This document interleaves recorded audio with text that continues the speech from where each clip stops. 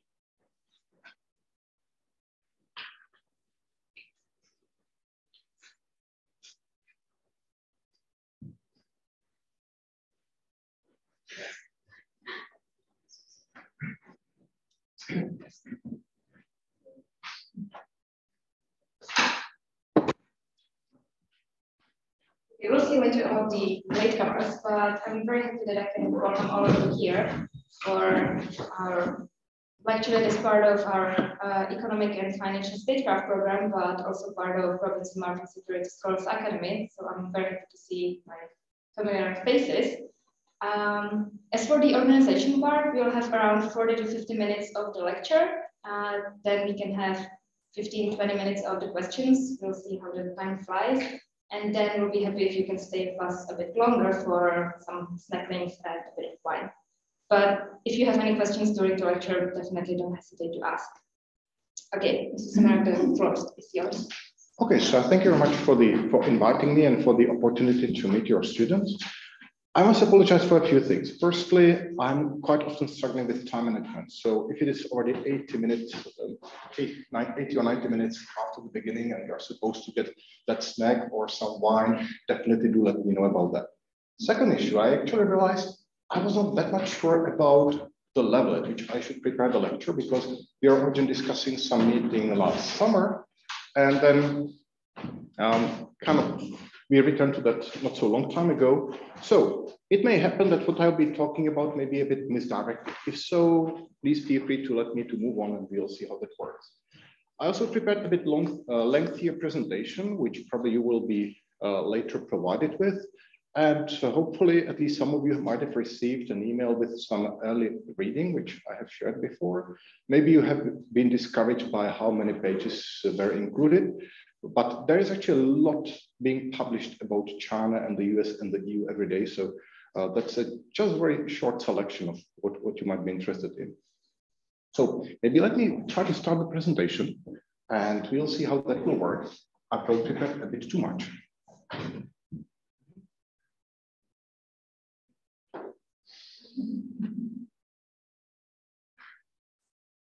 Great, thanks. So here's my name again. So please feel free to call me Vilém. It's just Czech version of William, as most of you know. I work at, work at Charles University, but obviously any opinions, numbers expressed here are my own, so nobody can be held responsible for that.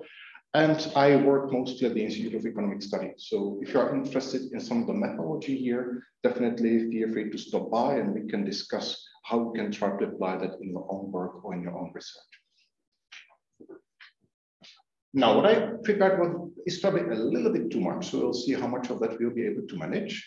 Uh, I would like to not just show you some numbers, because actually there's awful lot of numbers. Most of you will be, including myself, you will be probably losing track of the numbers very soon after I will start showing all the data. So I was more interested in the methodologies of how getting uh, how these numbers can be generated and then in their implications. So let me start by uh, reviewing briefly what some of you might have had time to read in the reading from the last week. So, as we all have noticed in our media, including Czech media, including uh, events happening in Europe and in other countries, China has been increasingly active in attempts to exercise its economic power and influence. I apologize for this. I didn't assume I would be doing it in this traditional way. So uh, if under Deng Xiaoping, the original saying was, well, let's wait, let's hide our strength, let's wait for the future. Uh, the current China can be uh, described as a country fully flexing its muscles, sometimes perhaps even exaggerating its economic power and its importance, both in the mind of Chinese leaders and in their public activities. So what you're experiencing, hide it so that it's not that much. So we have been experiencing the famous wolf warriors diplomacy, where in many cases countries which are entirely harmless to China in terms of their relatively small size and in terms of their relative uh, peacefulness, like Sweden, have been experiencing very direct and very blunt threats by uh, Chinese diplomats who are supposed to represent China in these countries. Uh, we have been experiencing direct use of sticks, so both neighboring countries like Vietnam, but also more distant countries like Norway or more recently Lithuania have experienced a number of problems, typically disguised, unofficially declared embargoes. Norway in 2015, after uh, their politicians were not distancing them, themselves too clearly from Chinese dissidents, uh, China imposed unofficial embargo on the imports of salmons and salmon meat from Norway. More recently, Lithuania, and you have seen the WTO document, which is pretty much a complaint by the EU to the WTO about uh, Chinese methods, where suddenly what happened was that Lithuanian, Lithuanian exporters to China have been experiencing troubles during customs processing, when you enter the code of a, a, Lithuanian entity into Chinese software, suddenly there was a problem. It has to be delayed, postponed. The consignment was rejected. The same was happening to payments and lots of other issues.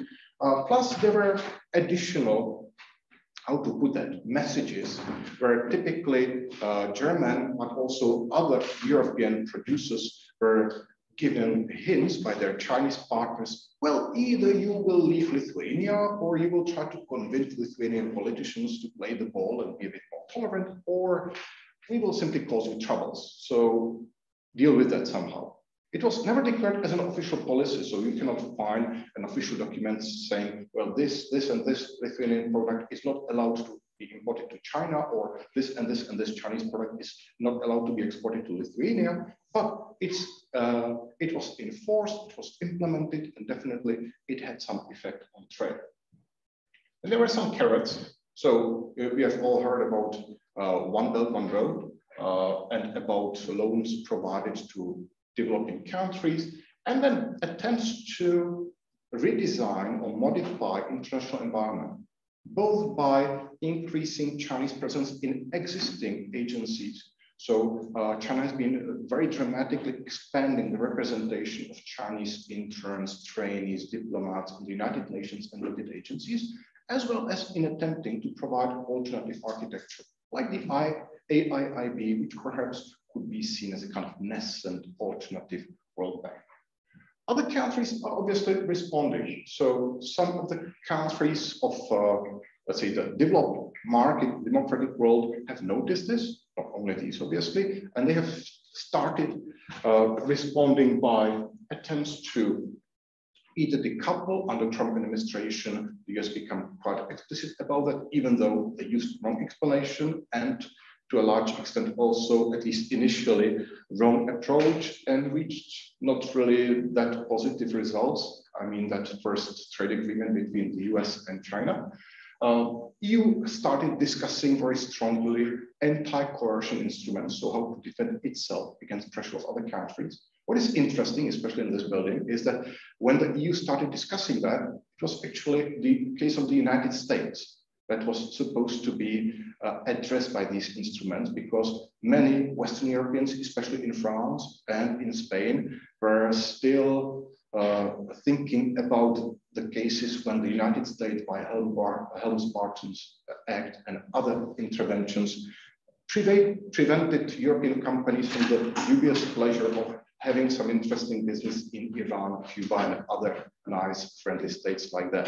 So in, what was interesting in these debates, for instance, in the ECFR discussions on anti-coercion instruments, was a very large difference or very extreme difference between Eastern Europeans who saw these instruments as something against Russia and China, and the Western Europeans would see them as something against the United States. And other countries, including Japan, were starting investment and incentive programs that are supposed to help their domestic producers to uh, reduce their dependence on the Chinese market. So this is what we know, this is where we are. And now let's try to evaluate what that actually means and what is new about that.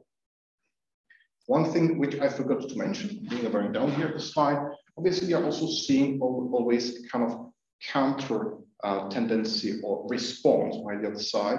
So in one of the texts that you were reading, there was the discussion about the uh, dual circulation strategy. And in a few minutes, you will see some examples of data which are showing to us that not only the West is trying to be less dependent on China because of worries about possible uh, weaponization of this dependence, but also China is getting relatively more closed and becoming less dependent on other countries. So this could be said, and then uh, because I quite like economic history, I could bore you here to uh, till you are fully asleep with the historical economic data. Some of you perhaps already know. Um, at the same time, I could say, well, it's nothing new. So in fact, there have been multiple or many examples of uh, historical situations when countries were trying to exercise their economic power as a kind of complement to military power or as a predecessor to military conflicts. I didn't resist and I put here actually some older data. So uh, the Megarian decree issued by Athens in some fifth century before our uh, before Christ, which obviously was right before the Peloponnese Wars. Then uh, during the Cold War, attempts to reduce exports of sensitive commodities to the Warsaw Pact countries by means of implementing restrictions within, within the coordinating committee. And then range of sanctions imposed by many countries mutually. So obviously there are the US sanctions on Cuba that I mentioned before. There are a bit less known to most of us also economic sanctions imposed already by the EU on China. Since 1989, uh, European producers are not supposed to export weapons to China.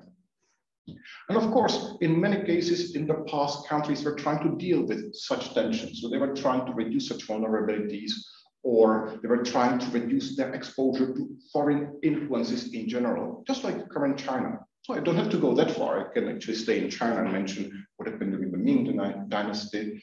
Or when I look at US data, a bit less known to us Europeans, United States behaved beautifully foolishly in the early 19th century. It was between 1807 and 1809. They tried to impose embargo on pretty much all trading partners with which they were trading. So we'll later use this as a kind of natural experiment to see how large can be welfare effects of such a step. Uh, well, what was interesting about this in, about this particular event was that it obviously had quite large effect on the United States, on the country which attempted that, but not so large effect on the main uh, supposed recipient of the problems, the UK, which hardly noticed that anything was actually going on. So again, we will try to check whether this might be the case in our interaction with China. So, yes. Uh, what is different now that we are again returning to that? Maybe we are just forgetful, perhaps. That happens quite often that every few years, politicians, diplomats, social scientists return to the same topic and they forget what has been published about. Or maybe it's just because there is more asymmetric situation because China has become so huge or because it plays so high a role in our trade for both the EU and the United States, if you look at merchandise trade, China represents about one fifth of uh, external export, external imports, and about one tenth of external imports. Or is it because of the high degree of openness of economies? Not so much likely. If you look at the external openness of the United States and of the EU, it's actually relatively small compared to individual small countries.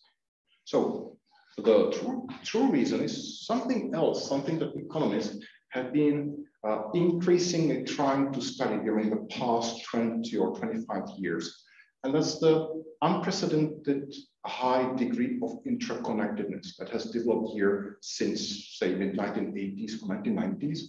Uh, specifically, the fact that we are no longer trading fine, finalized products as we used to trade long time ago, in the 19th or early 20th century, when there was trade, it was typically a finished commodity produced somewhere and sent somewhere. The reason for that was very simple. Coordination at distance, coordination of the supply of parts was quite complicated without our modern telecommunications. These days, we are trading activities, we are trading parts.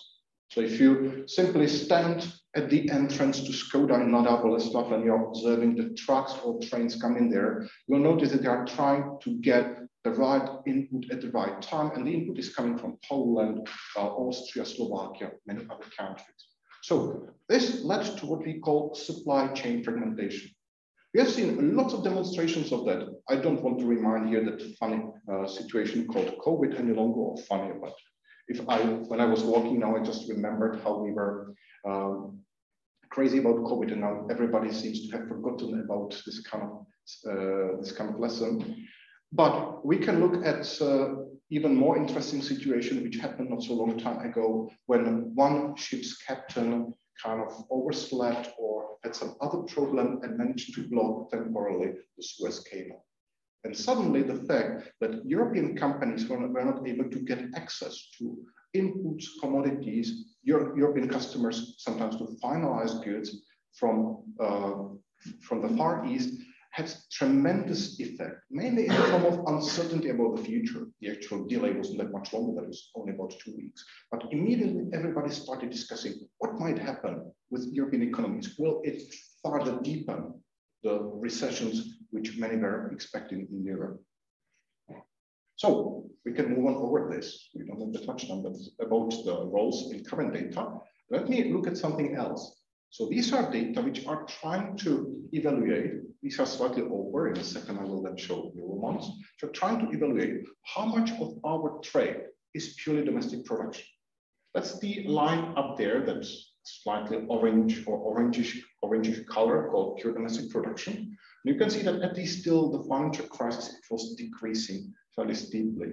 And what was growing was actually trade, which depended on a significant degree of cross-border cooperation. That means all the types of trade when Czech producers would be using inputs from other countries and they would export to other countries. Uh, goods which would be based both on domestically produced parts and foreign produced parts. How it worked at that time, for instance, if you look at the Czech electronics sector, We were relatively successfully exporting to Western Europe, but significant proportion of what we were exporting were actually Chinese inputs assembled in the Czech Republic. If you did, very, if you did some very simple back of the envelope calculations, you found out that out of every billion of Czech crowns of exports of electronics, maybe about 860 millions were actually imported Chinese parts, which were complemented with a tiny veneer of Czech labor and Czech inputs and exported as a Czech product abroad. It has got quite a few implications. One of them is that the traditional trade statistics and traditional data about bilateral trade imbalances actually are not useful any longer.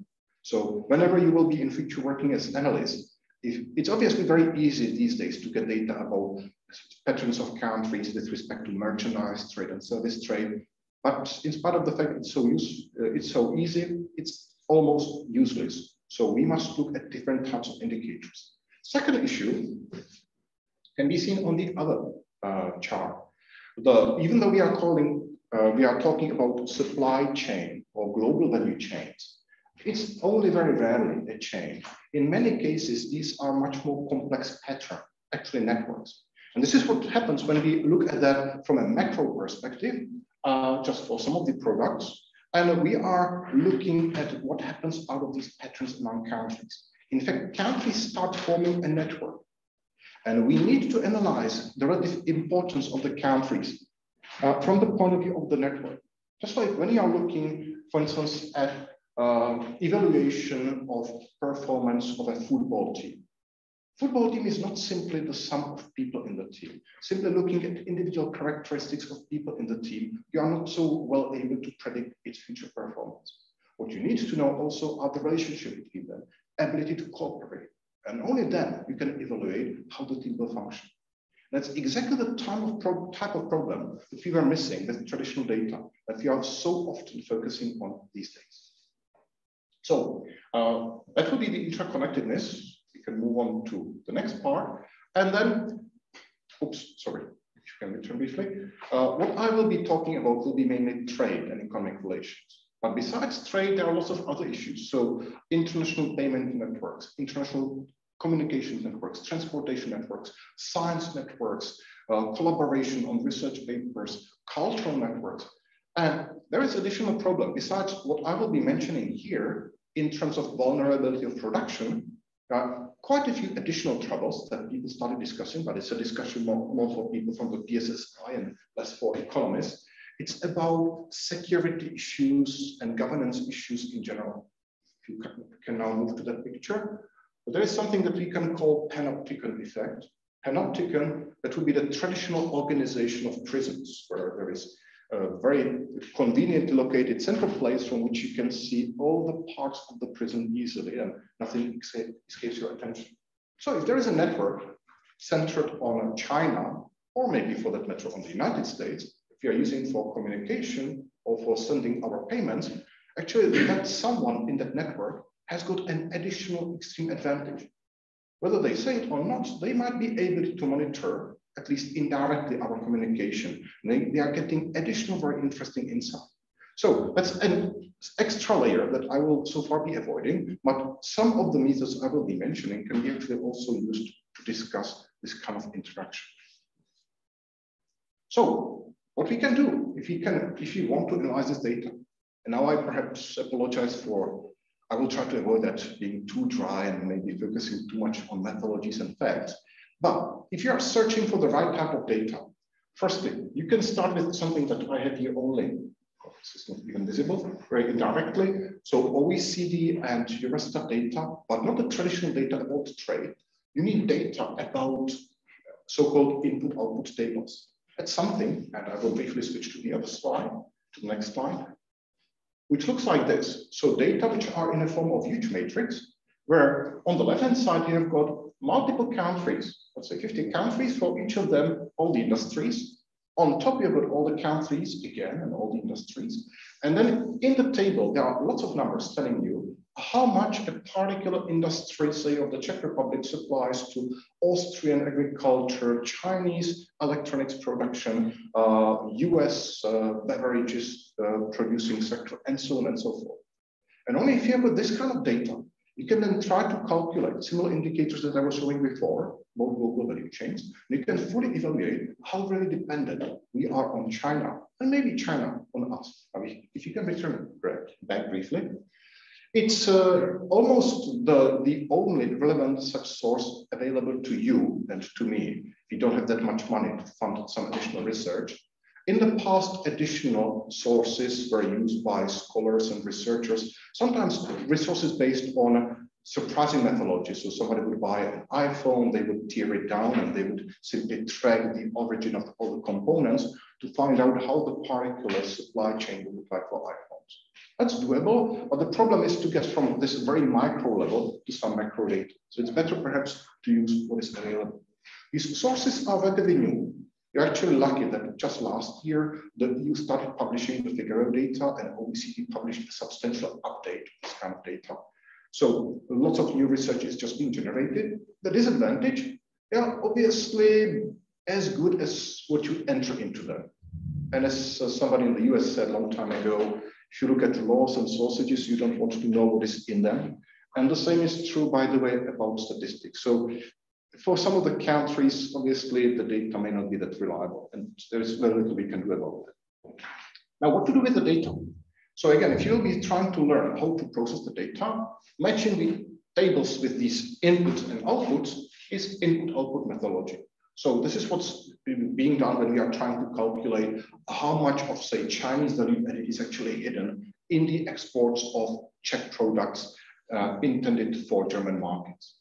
Then maybe I will get across or I will return to CGE modeling, modeling later. Then the second very interesting approach is network analysis. It's a very fashionable field of not just economics, but also of social science analysis, but also of historical analysis. It's used also in other parts of uh, social sciences these days, where you collect data about interacting units. And from the data, you're trying to find out how influential they are.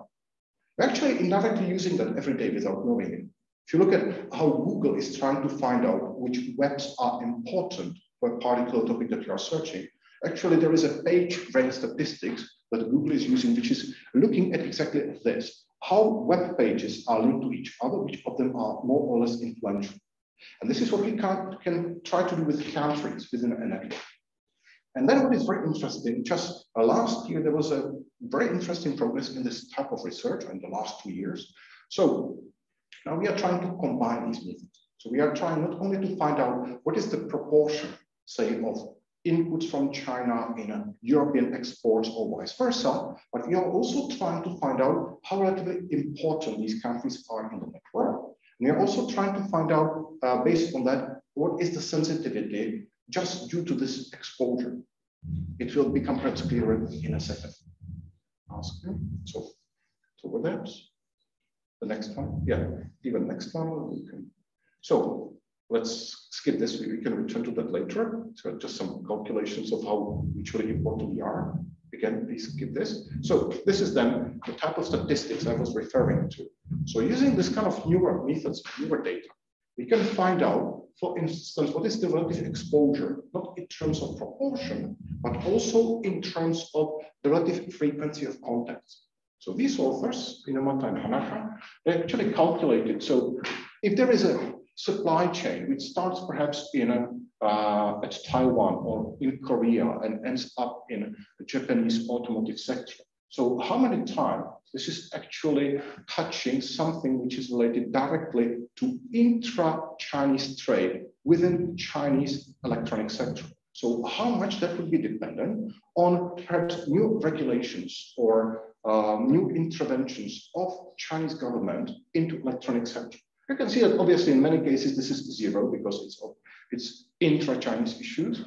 Uh, but when you look at United States, and to some extent, when you look at Germany, there are also some of the more powerful plans telling us that the attempt to use in Germany inputs from Korean ICT sector are actually indirectly interacting with Chinese electronic sector. And it's even more interesting than to look at the next slide, which is comparing. Yes, the next slide, if I can ask. Yeah, which is comparing on the horizontal axis the share of value added per sector. Here are the numbers of the sectors and, now the countries. So this is here there are no. Uh, I don't have the data for the EU as a whole, but just for select European countries and for for United States and other important actors. And on the horizontal axis, there is a share of value added sourced from China. And the vertical axis, there is the pass-through frequency. So uh, if I simplify that a bit, how many times, or what is the relative frequency that the particle sector depends during uh, the process of production of its final output on something related to China. You can see that the two uh, numbers are roughly correlated. If I try simple correlations, there is upward sloping line between them. But there are some exceptions. So if I look at the uh, United States, and that's US electronic sector, computer electronic computer products, it's up there uh, in the left-hand side corner of the chart. Uh, the share of value added source from China can be relatively small. So if you look at a typical iPhone or any other similar product, uh, it seems to be imported from China, according to official statistics, but in fact, much of what the Chinese are assembling are imported inputs from Korea, Japan, Thailand, and other countries. But the fact that these inputs are imported to China, while it reduces the proportion of value added that China is contributing to that product, does not mean that China would not have, in some extreme situations, the chance to interact with this production. And that's actually something which can be happening. So if I'm importing inputs, for instance, to Lithuania from China, uh, then obviously China can interact with that, even if the value of these inputs is small. If they are difficult to replace, for instance, if there is some special made component produced for a particle electronic product, then if they decide to intervene, that tiny component can stop the whole product from being finished. Something that we have seen but not because of the role of China, in the, in the car sector, in the automotive sector of many European countries, where the fact that we are not able to get, in some cases, relatively uh, simple components, simple chips that would be needed to, to finalize the whole car meant that when you were traveling through the Czech Republic, you were seeing uh, full uh, parking lots, especially near Mladá Boleslav, where there were many cars waiting to be finished, waiting for the final chip that, that was missing in the assembly. So uh, what happens if uh, some country, for instance, China, tries to interrupt the network somewhere? Or what happens if they start imposing embargoes on some, um, somebody in these networks? Well, obviously, there will be short-term effects. Trade flows will be reduced, something that we are currently seeing also in the trade, not with China, but between Europe and Russia. But very soon, we will try to build some ways how to get around this obstacle. So uh, for Lithuania, obviously, there were attempts to move the goods through other countries. For Norway before, there were attempts, for instance, to find uh, some ways how to redeclare Norwegian products as non-Norwegian products and get them into the Chinese market. These days, you might have heard a lot about parallel imports to Russia uh, after 2004, 2014, Belarus became a very important exporter of seafood products, in spite of not having any sea, to Russia, simply because these were redeclared European and other products which otherwise would not be allowed to enter the Russian market. So in fact, what is typically happening is that mostly we are not experiencing a complete interruption of the flows. Rather, we are seeing changes in prices. That's one effect. So typically you need to pay much more because you are paying all the extra margins of all the smugglers and mafias being participating, uh, part which participate in the process of getting the goods across that newly created border. And for exporters, this means lower price because obviously there will be some elasticity with which you divide the extra margin for all the new guys in the middle between the consumer and the exporter. How much the exporter pays and how much extra uh, will be, uh, how higher will be the cost of the of the consumer on the final side? Well, that depends on their relative market power. So if the exporter is selling something which is really extra, for which there is no replacement, these days those could be perhaps chips being sent to Russia. I bet that the few chips that Russia is trying to get via China, they're actually getting very, very expensively. And the sellers of these chips now obviously with those additional new uh, barriers to China are not losing pretty much any money at all. And it's the consumer who is paying because the elasticity of ability to replace the chips is very small. The second issue besides crisis, which is really happening, is uncertainty. So we are not sure whether we will be able to get the supply in time. And that's a problem not so much for farmer users. If I am buying a new car or a new IKEA wardrobe, well, if I wait a minute, a, a day or two for the delivery or a week, well, no big deal in most of the cases, unless it's a kind of birthday present or anything similar. But if I'm trying to produce something and there are lots of employees working and I'm paying their wages, or if there, if my warehouse is getting full of other inputs which are waiting to be assembled, and because of this I cannot receive additional inputs, that's a problem.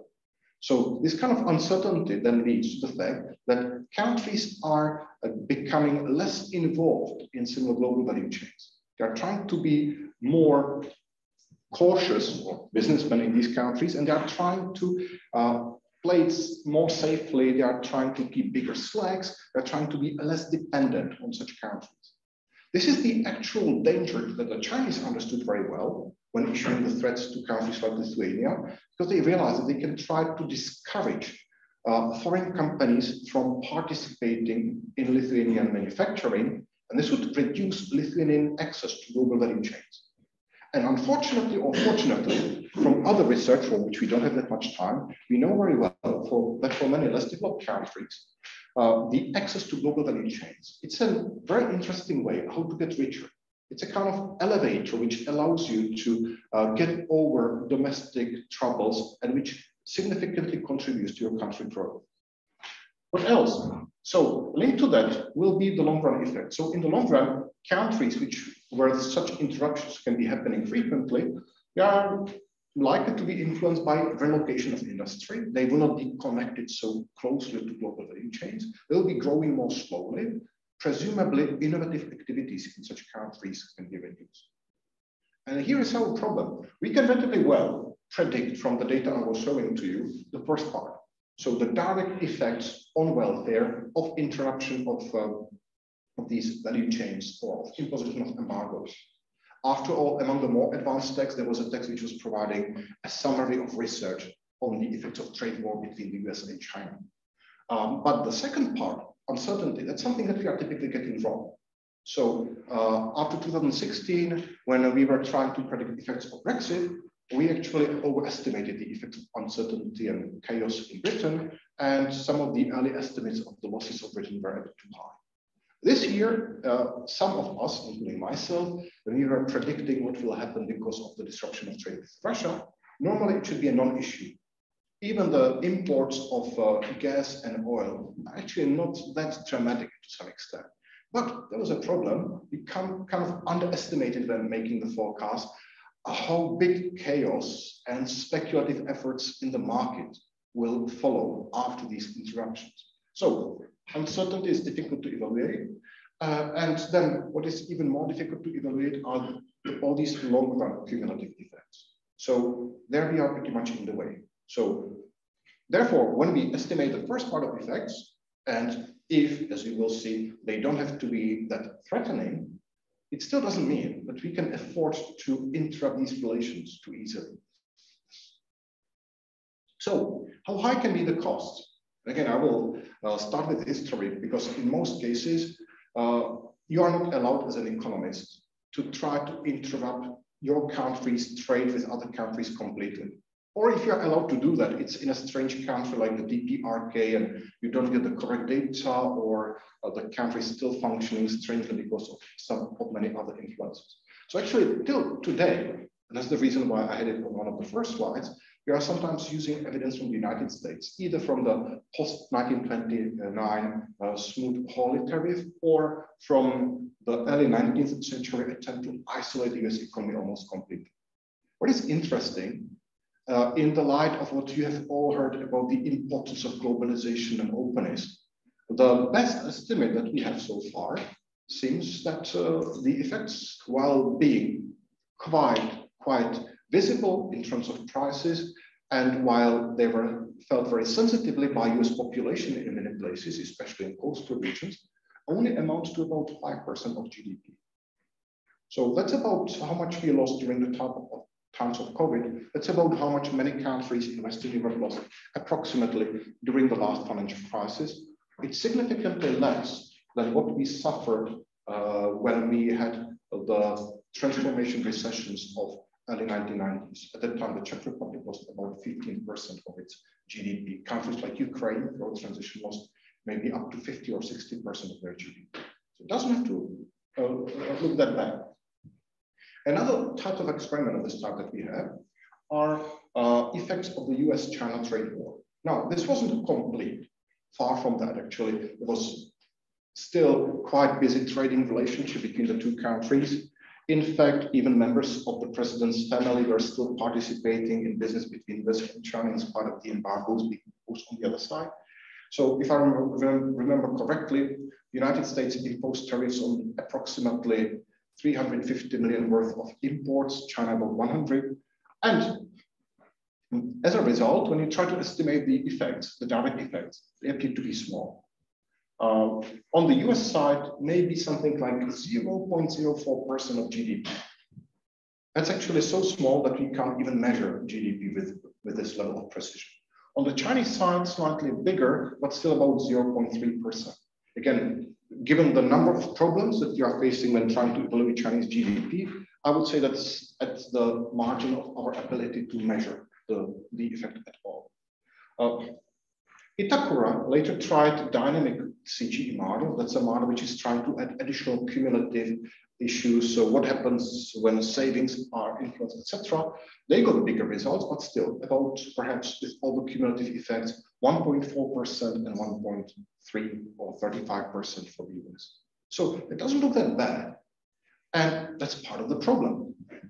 If I go back again to the country in the East, uh, the evaluation in the minds and brains of decision makers of the future risks of a possible intervention is extremely important.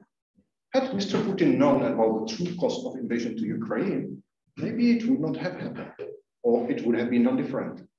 If there are now people who would be assuming that these costs are relatively low, like that, then obviously on the US side, in the EU as well as in China, there are lots of very good researchers publishing papers in input output economy growth from China. If we know about this, we may be tempted. So maybe we can try to inter interrupt this in get less vulnerable once and forever and avoid the problems.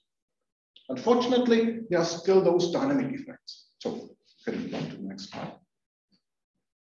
So how high are the costs? So uh, the direct costs are low. By the way, on the next two slides, uh, they have some uh, my simulations, but these are very basic. So maybe we can get to them later. Uh, but there are issues that we cannot do that clearly. So effects of uncertainty, which mostly you would have to add in some strange additional way, like assuming that countries will be getting more skeptical about investment, uh, or complex and vague indirect threats of the Sino-Lithuanian type, Lithuanian type. Actually, for the past few months, I've been trying to design a few methods how to evaluate such threats, and it's troublesome. We know that the Chinese are threatening German companies.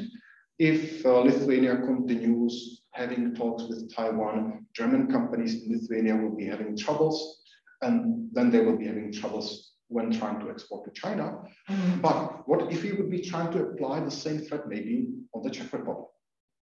Which country will China choose? Maybe Germany again, because of their, let's say, relative vulnerability, vulnerability to similar threats. But which sector? Would, it, would that be car sector or something else? And you're getting a number of scenarios that you can try to analyze. And it's pretty difficult to arrive at some particular number that you could that you could cite as the effect of such a scenario. And then the big issue at the end that we were again struggling with when doing similar analysis for the relations between EU and Russia. How about elasticities? Elasticity means the flexibility with which we can replace, for instance, inputs from China and with which they can replace inputs from Europe. Uh, if you look at OECD classification, something that we don't have, or some OECD reports and WTO reports, typically they will be talking about maybe five or six types of relationships within these value chains. Some of which, some of them are very basic. So similar to the situation of you that you are facing when a, nearby store where, where you are doing much of your shopping shuts down. Well, typically it's not a problem to find some replacement. You'll simply walk extra 50 meters, there will be another supermarket. You can replace it very easily, the losses can be small. And readjustment will be quick. But what if there's something much more unique, which is difficult to replace, either because of how it is designed, or maybe because, in the case of gas between Russia and EU, or Russia or China, because there are some, there is some infrastructure, the pipelines, which are connecting just some of the resources to the final market, and it's difficult to re-switch them to other possible users. The problem is that typically when we are using historical data, we have got some information about how easy these replacements are. But these are mostly based on smaller shocks. If there is now a big shock, like losing all the uh, Russian gas or offering lots of extra Russian gas to China, will the sensitivity to such a shock be the same or presumably, as we can always speculate, much bigger than in the case of the smaller shocks? So take what I have here with a great deal of caution. So maybe I should not even cite that, the next slide. So if I simply try to put into a fairly complex CGE model, but still relatively simple in terms of the methodology as it is used today, some assumptions. So this is a model where I tried to put some uh, eight regions, one of them are the United States, and the rest of the uh, North America, uh, China, the rest of Asia, EU27, uh, the rest of the world. And I was trying to model what would happen if I completely intersect uh, or completely interrupt trade relations, in this case, from the US to China and from China to the US. How would the economy readjust? So it's the first type of the effect. No uncertainty, no problem. Again, we are having here the problem uh, that I showed before. So the effect appeared appear to be rather small. The only large number here that you can see is the last line. And that's because these are equivalent variations. It tells you about what would be the total losses of equivalent income of US or Chinese consumers respectively. But it's a total number. So all the 330 million US citizens and all the, let's say, 1.3 or 1.4 billion Chinese citizens. So it's uh, then quite well in line with what you can see here, the effects on the real GDP. I was often skeptical whether this can be correct, but when you look at the results by Itakura or some, something cited in the other papers, it probably can be true. Then, if you look at the EU and China, the same story. In fact, in both cases, you can see that China should be the more vulnerable country, just in, in the case of pure interruption of mutual trade. Obviously, it doesn't feel to be the more vulnerable. Part of it can be a bit exaggerated, hubris-like evaluation of current situation. After all, you might have noticed that Xi Jinping has become very ambitious and very self-confident in his evaluation of both his internal position and of external power of China. Part of it can be the realization that maybe our countries are more sensitive. Uh, in, in the case of both the US and uh, EU, because of our political system and because of our, of our media, if, you have been browsing through Chinese media recently, you will notice there are lots of reports about uh, problems that we are having because of Russia, and lots of problems with crime and other troubles in the United States, decaying infrastructure and so on. And obviously, it's very easy for them to show these problems here. It's very easy for them to block news about similar negative phenomena in China. In our media, it's not possible. In our media, we are getting sometimes exaggerated, sometimes a bit uh, chaotic and uh, uh, enhanced picture of what kind of state or what kind of dangers we are living in. So that's one issue. Second issue, especially in the case of the EU, the fact that we are divided. So uh, China tried it in the case of the United States too. If you look at the design of their response to the trade war, you will notice that they focused on products which particularly strongly hit selected regions in the United States And you could actually see quite interesting correlation with the mapping of preferences of the candidates and parties for the next elections. In the case of the EU, it's even easier. I can easily design a policy which will actually cause lots of troubles, let's say, to small countries in Eastern Europe and less troubles to Western European countries. And then logically, China will be able to assume, well, even though we can be more sensitive in general, we can easily divide the EU. And after using this divisive policy, the EU will be incapacitated and they never they will never respond in time to our threat and they will actually give up. We'll be able to make with them some reasonable deal. Yeah. so can we do without China? And if we go to the extreme, without participation in global value chains? Well, the numbers show that at least in the short and medium run, perhaps yes. After all, we can see in the case of Russia that, uh, well, with uh, hefty help of, uh, with rather large help of local propaganda and with significant simplification of products, dumping down of production, etc., quite, quite a lot of adaptation is possible. You'll be simply having less advanced, less developed, more expensive products. You'll be more slightly poorer, but it doesn't have to have, look necessarily that dramatic.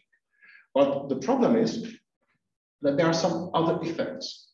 So firstly, the long run effects I mentioned before. You'll be all growing much more slowly than before. You'll be all uh, struggling with uh, less ambitious, innovative and investment effort by companies. Well, then what else? If you really try to protect ourselves by detaching from China completely, well, on the one hand, we will be protected much more against future attempts at blackmailing. On the other hand, well, we can actually contribute to the threat. There is something that we call in economics self-fulfilling prophecies. So the more we are discussing decoupling, and similar interventions, obviously the easier it is on the other side to introduce similar measures and explain that it's not because they would be trying to hit us, simply because of their response to our policies.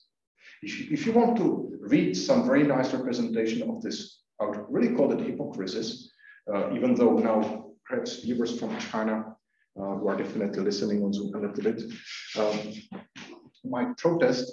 Uh, there is a speech that uh, Chinese Minister of Foreign Affairs Wang Yi had in September, I think it was in New York, was about the right China for the right way for China and the United States. You can see the printout or the text of the speech on the website of the Chinese Ministry of Foreign Affairs. And that's a beautiful speech about how peaceful China is, how it has never attacked or blackmailed other countries, and how they are facing unfair tendencies of the United States to encircle China, etc. Uh, it's a very nice example of how you can use uh, facts uh, in an interesting way, how you can avoid discussing the problem between China and India, uh, lots of other internal issues, including um, specific positions for Taiwan, on Taiwan or Uyghurs. But what is very important, we're also suggesting that if they are closing down, if they are thinking about becoming more self-dependent, if they are introducing defense instruments, it's not because they would like to, but because they are pushed to that by the West. So we're actually providing them also with additional pretense. Now they would be probably doing that even without this pretense, but at least the explanation of that would be slightly worse. But what is even more troublesome, well, and that's something that might have been visible if you look at the design of the trade deal between the US and China uh, adopted during Trump's presidency. To some extent, we might be moving in a similar direction. For instance, this trade deal uh, introduced direct targets, how much extra soybeans China should be importing from the US. So it was a bit going in the direction of uh, not so much providing opportunities for new for new private business in China, maybe kind of undermining the power of the party from the inside, but pretty much accepting the logic, well, there is the state that should be controlling what the companies are doing. Uh, the second issue linked to that is that the more we are trying to uh, intervene, for instance, in the form of the current currently introduced ban on employment of uh, US trained nationals in China, if not implemented in a course, in a acceptable way, if not accompanied by additional assistance to such people, obviously there is a danger. We may sometimes antagonize such people. We can actually look like somebody who's moving in the wrong direction. And frankly, I'm not quite sure whether we should not try to rather uh, move in a, or remain on the trajectory that originally made the United States and largely also European culture so attractive to many individuals around the whole world. That means that relative flexibility, relative freedom, rather than introducing strict bureaucratic measures. After all, even though the coordinating committee restrictions imposed after 1949 probably had some negative effects on the ability of the USSR to get advanced technologies from the United States. In fact, when after 1989, US archives, sorry, uh, uh, Soviet archives were opened, we found out that they had access to pretty much almost every recent US invention. The actual problem wasn't that much in getting access to the knowledge. The problem was that their uh, ailing economy wasn't uh, incentivized enough and it wasn't uh, ready enough to start producing such commodities. And that's actually something that we should try to think about. China assumes that it's now on the growth phase and that it will be soon, if I borrow the words of Nikita Khrushchev from 1960s, bury the West and bury the United States.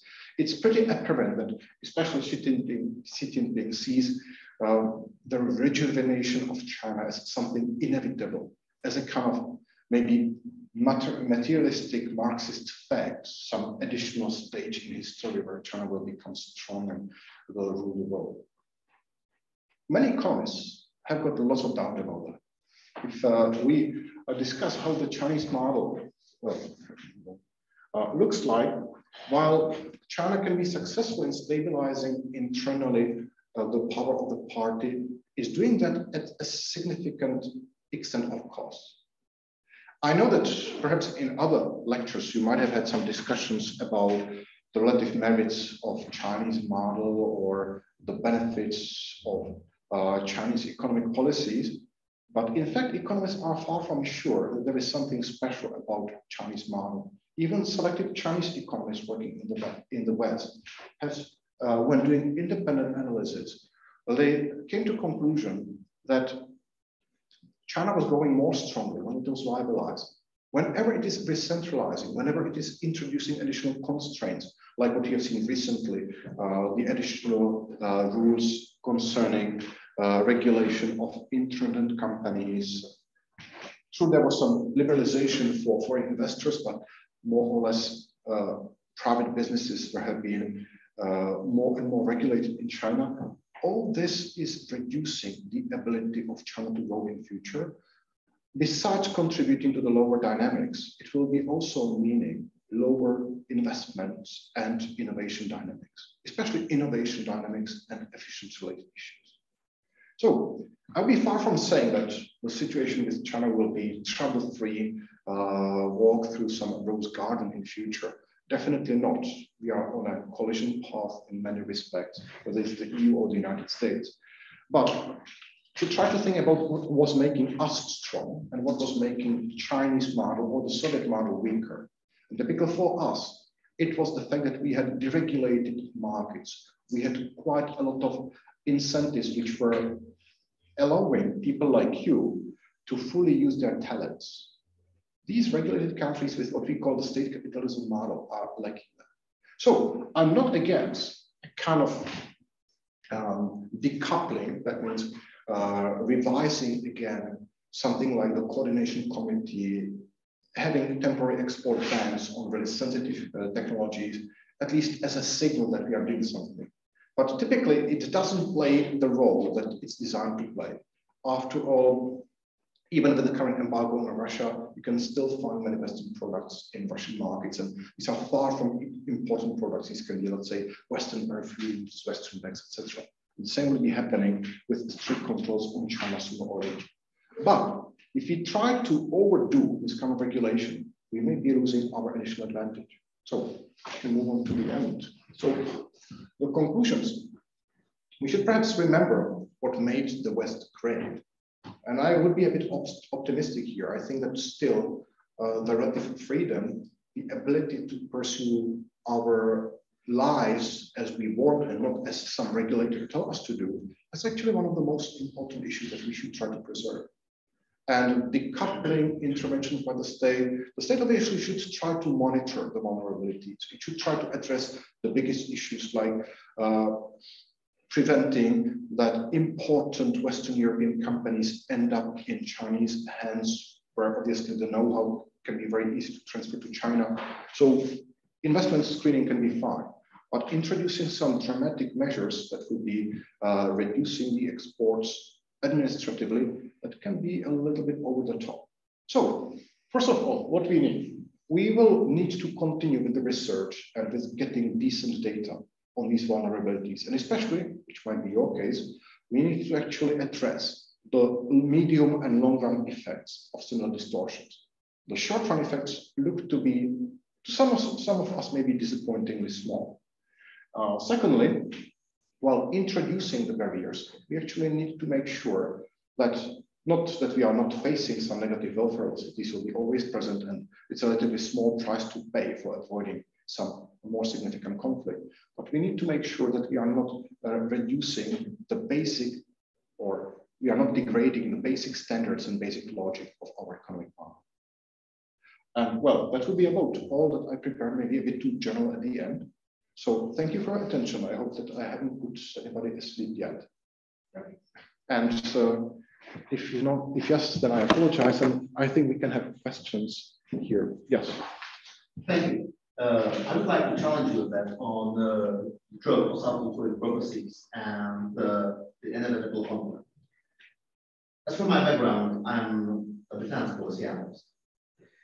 From my point of view, and given analyzing Chinese uh, strategic uh, uh, documents and Chinese defense policy, the conflict has always been there. The China from the 1984, they firstly published their uh, defense doctrine is set to destroy the West. They have said it, said it openly. They're using the economics, which is also in uh, their open, and they're saying, saying this to us openly. They want to destroy us. And they're using the economics and the interconnectedness of our economics as one of the many other many weapons from the arsenal and many weapons from the arsenal. Also, if we look at the, the One Belt One Road initiative, what uh, is the main purpose of the One Belt One Road is not the interconnectedness of the trade. It's the subjugation of uh, the territories on which the trade is conducted. We have seen it in Central Asia, we are seeing it in Africa. So about uh, the inevitability of conflict in case of our regulation, the conflict is not inevitable because we are discussing a conflict the conflict is inevitable, and we are in the conflict right now because the China chose so, and chose long time ago. Okay, I will start with a few remarks first. About the Belt and Road, definitely I'm aware of the fact that it's only introduced for the sake of trade. But actually, there are multiple levels of Belt and Road. One of them very nicely demonstrates the troubles of domestic Chinese economic policies and the actual weakness. If you look at the discussions in China about Belt and Road, I was surprised uh, when I uh, when I was discussing this with some Chinese researchers, and they were strongly proposing in some cases that one of the ways why it was also implemented was the fact that they were having these huge problems with overcapacity. It was something that was obviously designed to meet the different objectives. One, if I have, because of inefficient government regulation, excess capacities in my steel sector, cement production, and other construction materials production, then let's give money to nearby countries. Let's try to make sure that they are using our capacities. And by this, we can slightly improve the use of the capacity. Second issue is actually linked to some of the analysis that's done with the use of network theory. Obviously, they are investing into some strategic places like Djibouti, etc., in a way which helps them control some choke points on international trade routes or also on uh, transportation uh, routes which can be routes which can be relevant for military uses in the future. And concerning the subjugation, that's a tricky issue. Again, from the let's say game theoretical perspective, in the case of the short run point of view, they kind of succeeded uh, with this kind of well carrot-like willingness to offer cheap loans and easy to abuse contracts to African governments, or not only African governments, we have seen similar situations in the Balkans, where obviously with the use of uh, Chinese money was always that was left in the pockets of the participating Chinese companies, something that which was left in the pockets of local rulers. In some cases, the projects are perhaps mainly done because of this. And then in some cases, some infrastructure was built and who paid for that? Uh, well, those are the future generations of the people in Mozambique, Kenya, Sri Lanka, etc., for who are now owing all those extra money to China. So in my opinion, it's a multifaceted part. Uh, you're right that, uh, uh, let's say, uh, the attempt to provide additional infrastructure for control around the world was definitely one of the influences. About the first part, well, I was simplifying it here a little bit. Definitely, I would agree that at least some parts of Chinese society have been always thinking about conflict. I'm not sure whether all parts of Chinese society and all parts of Chinese leadership uh, that's the issue. Economists are always a bit naive in this. Uh, security and especially intelligence analysts, they are always a little bit more pessimistic. So I've read quite a few. There's actually a very colorful book about the history of Chinese intelligence by Roger Faligot, where he sees pretty much behind every decision some well thought strategy, etc. I would love the world to function so efficiently, but knowing what I have seen about the efficiency or the inefficiency of very bureaucratic structures in the Soviet Union and in China and other similar countries like Myanmar, I am extremely skeptical that this that the complexity that uh, a design of such strategy would, would require, that it's really implementable. I can be wrong on that, but I think it's rather a mixture of motives. Definitely, if you speak with military people, uh, even uh, if you spoke with them, let's say in 1990s, they would see the United States as the arch rival and maybe uh, Japan and Taiwan as some minions who should be who should be buried. And uh, but I am not sure whether all of them uh, meant it like that.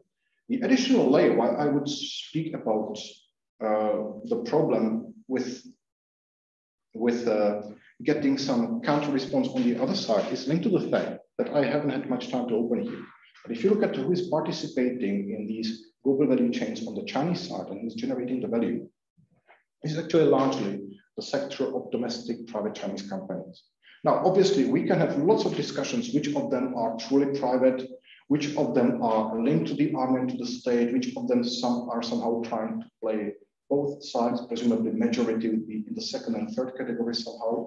But uh, if uh, we look at the position of the current leadership in the party, they definitely dislike even these private companies and they want to have everything under common rule.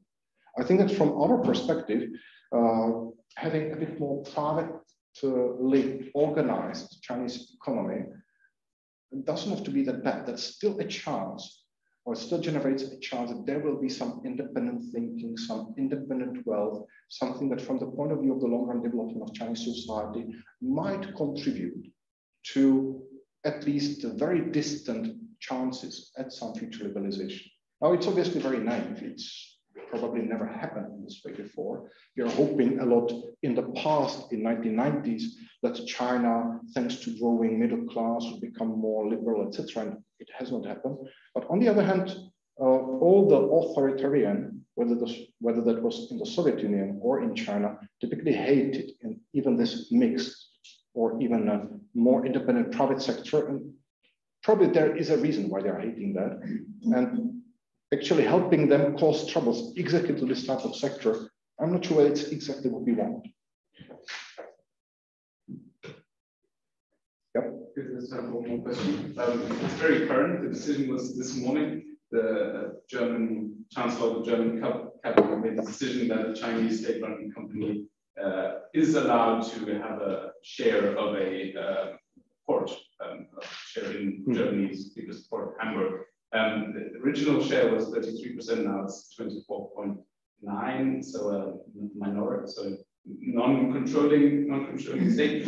But in, in, your opinion, is that a, a measure, what you had in your concluding slide, is that a measure measured engagement with, with Chinese companies, or is it still naive because it is critical infrastructure and this should be, this should not be given to the hands of Chinese state-controlled companies? Frankly, I'm afraid I don't have enough information to evaluate whether Hamburg is still critical, let's say, for German economy. There are lots of other alternative ports in Europe, like Rotterdam or I think even Genoa to some extent, which can play a significant role. So, but I was also surprised by that. It's, it's a strange signal that we are giving. Uh, and again, well, at least to some actors, it can give the signal that uh, Germany is still somewhere in the middle, not fully resolved to change the side. There are still people hoping in, in, in that something like that. Uh, how was that? Uh, Wende durch Handeln will, uh, that, that will happen, that means change through trading or that there are still people who may be in a Chinese pocket, how like just like there were people, for instance, in energy sector who were previously in, in the Russian pocket. So um, having some common EU policy on that and then having a decision at EU level that's seen from the perspective of European networks, we really don't need Hamburg for that much and therefore do what we want with that, sell it to the Martians. That would actually make me much, much uh, uh, more relaxed in, in this case. So uh, on the other hand, uh, still getting access to the to the asset, it's questionable what they will be able to do with that. Uh, when you look at the shopping spree that Chinese had a few years ago in China, it was obviously motivated by multiple purposes. There were some state companies or state-related companies trying to get access to interesting know-how in Western Europe. But then there were also private owners or semi-private companies or politically linked individuals who simply had access or preferential access to liquidity from Chinese markets and which were buying, willing to buy anything uh, while the excess lasted without any strategy, without any logic. So brewery here, winery in France, etc. Often the assets were not used in some strategic or logical way. Even I have read that some of the wineries actually fell into disrepair and uh, some of them actually lost their original attractiveness and the quality of wine. So uh, that's the issue that there can be uh, two scenarios. One is that it was simply available. And so someone in China decided to buy that without any larger strategy. And it's kind of harmless. And all that can happen is that a few years later we'll be actually bailing somebody out or repairing something in, in the harbor. Alternative number two, that there is really some well thought out strategy, but I don't know that for that we would have to ask somebody with access to much more classified materials. Is that one more question?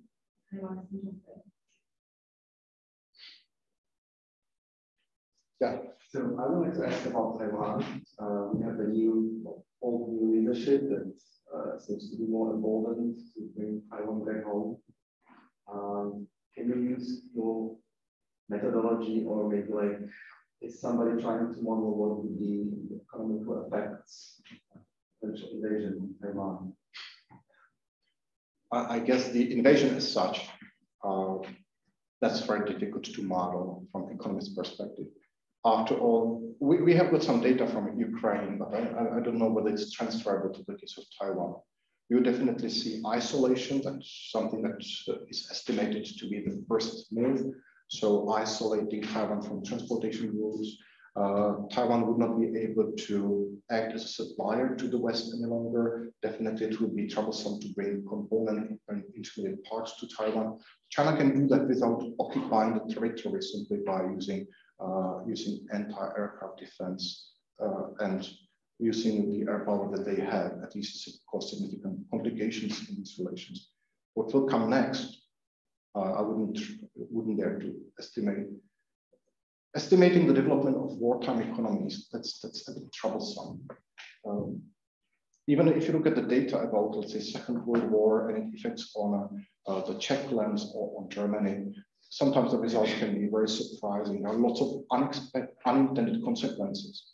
For instance, when the Allied uh, forces tried to bomb German cities, actually, in some cases, the uh, volume of labor available to German defense factories was increasing rather than decreasing, as you would expect. So I definitely wouldn't like to speculate here.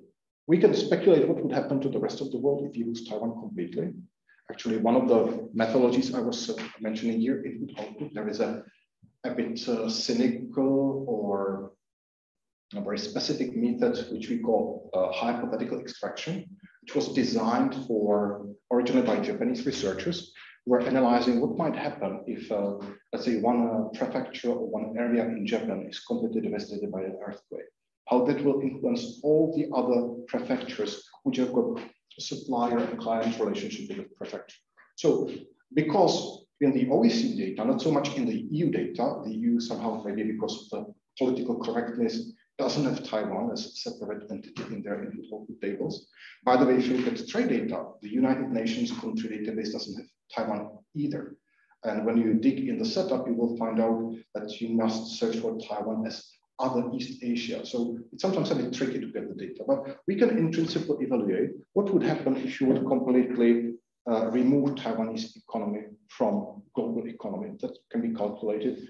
Obviously, the effects on us or on Europe would be very small, which is part of the problem because the Taiwanese obviously know that if uh, really China starts blackmailing us or the US, that on the one hand, there are some political promises, but on the other hand, with the exception of the dependence on uh, imports of micro components from Taiwan, there's actually not that much, there are not so many real reasons other than uh, some belief in democratic values why we should help them.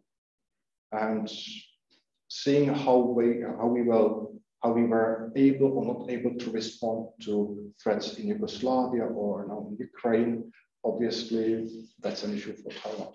For me, what is very interesting here are now the debates about the attempts to motivate Taiwanese companies to produce chips in the US or in selected EU markets. Mm-hmm.